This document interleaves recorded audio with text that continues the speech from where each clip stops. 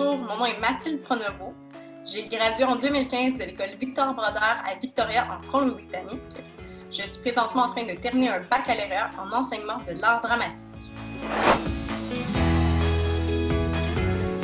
Je pouvais décrire le milieu minoritaire francophone en CB. Euh, je dirais que c'est une nouvelle mosaïque.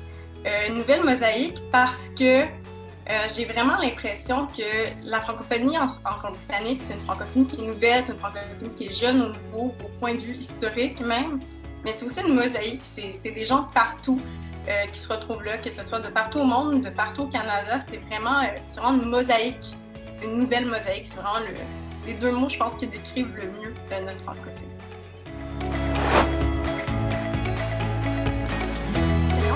Vraiment marqué pendant mon parcours CSF, c'est Daniel Dupuis.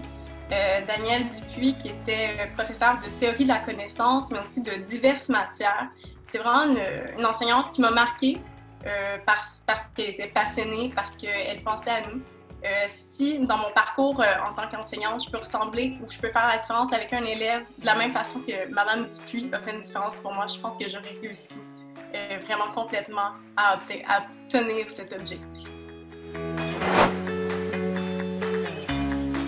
Tous et à toutes, euh, un bon 25e. On, se le souhaite, on repart à nos cohortes, on s'amuse, puis on fait tous ensemble à distance.